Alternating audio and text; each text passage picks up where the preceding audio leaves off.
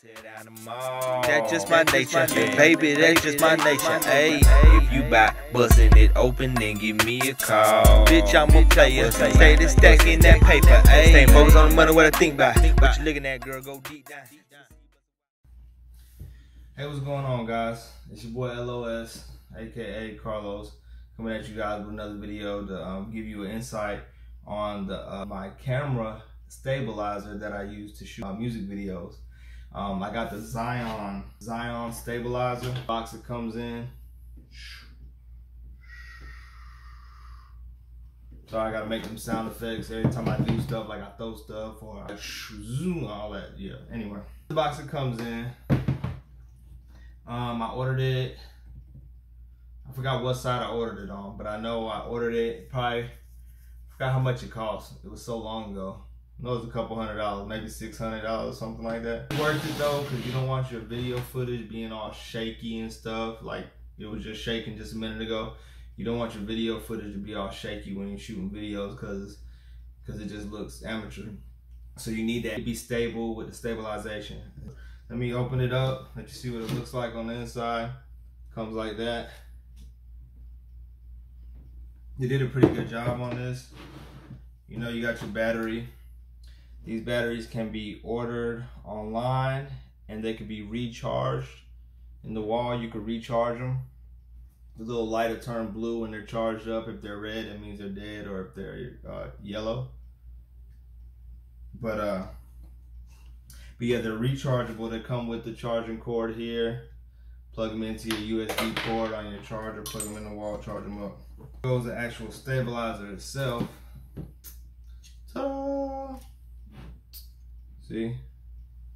Pretty cool. This is what I put my camera on. I sit the camera right here.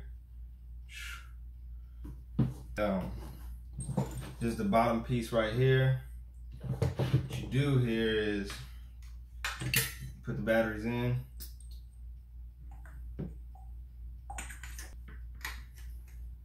Plug it in the bottom. Twist it on. Forgot to find this. This is very important. This is so you can put on the bottom to connect your camera onto. Camera here. I'll give you a little video on that later. Later, it's a, a Canon Canon T6 is what I shoot with. I went and I got the Canon T6 camera because um, I felt like it was a pretty good camera and it shoots pretty good videos, at least for a starter. You know, I'm not, I haven't been doing video making for years and stuff. Maybe about a year, maybe a year. But I, um, I've been rapping for years, but I just started shooting my own videos because I felt like it, with the amount of videos that I was planning on shooting, with the amount of music I plan on doing, felt like it was a cheaper route to go. Just buy my own stuff. This you um this is the uh you screw it on to the bottom of your of your uh stabilizer like this twist it. Gotta make the sound effects. If you don't do that it ain't gonna work. Twist this up so that it stays stable and tight. I think I'm doing this right. Give me a second.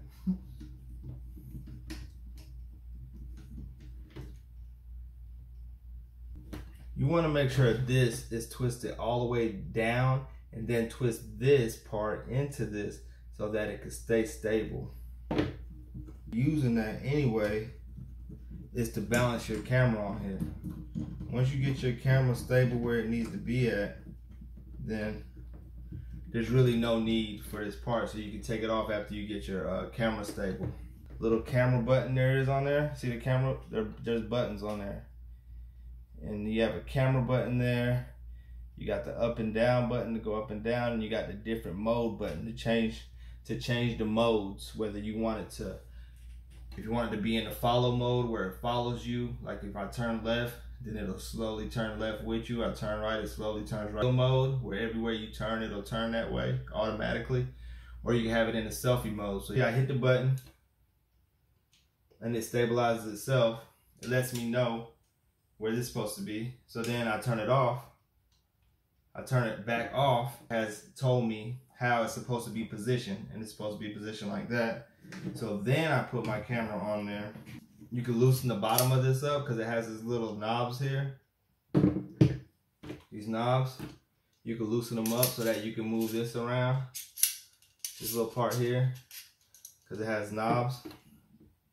So then you take your camera, which has a hole at the bottom. Get your little screw thing that I was told you that's very important. Put that underneath it. So once you get it like that, you want to self-adjust it until it's not falling all over the place by itself like this. If I let go, it falls. I want that, but where it wants to stay at, to where it's gonna stay still, like ah. See, I'm not touching it. It's staying still, straight. Boom. That means. So then you tighten it up in that location that it's at, lefty loosey, righty tighty, whatever one it is. Tighten it up so that it's real tight, so that it won't move. So that the uh, stabilizer doesn't have to work hard to get stable.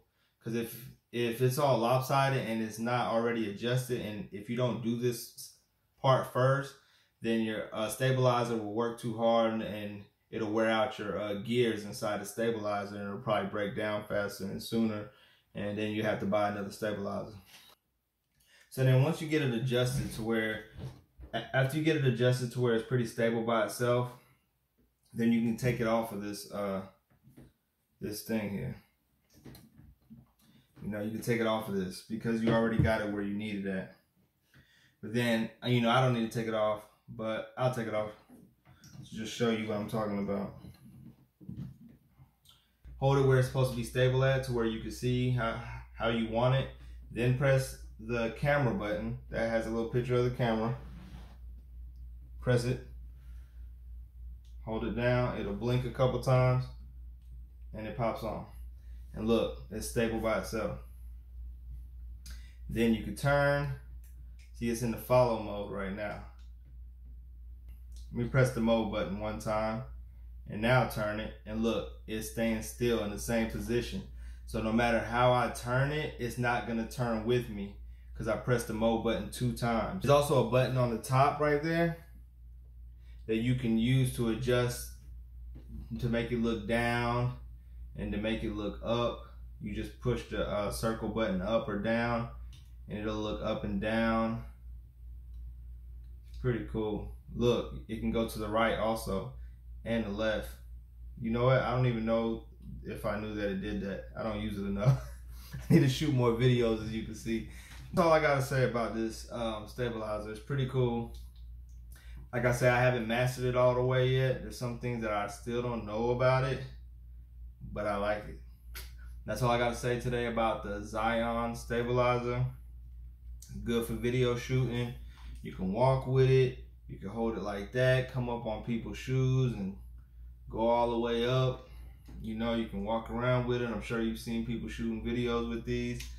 And um, they're very handy, not too bulky, easy to easy to take with you wherever you go. And um, I like them. I'll let you go out. It's your boy LOS, man. Just giving you an insight on what I got going on. Till next time. Peace shit. Ayy, me and you never match up. Match up. take it to the floor and bring it back up. When I hit it from the back, call me master. Ass so fat, make a nigga won't snatch ya. Ayy, gang so tight that it won't fail. Got five bitches waiting at the hotel. hotel. Gotta stay low key like a dope sale. You can't even trust these hoes like they won't tell. Don't got much time for the hold up. Hold Hit up. the goon by my side when I roll up. Pipe down when you acting all swole up. You don't wanna catch that blunt, you roll up. Boy, LOS say once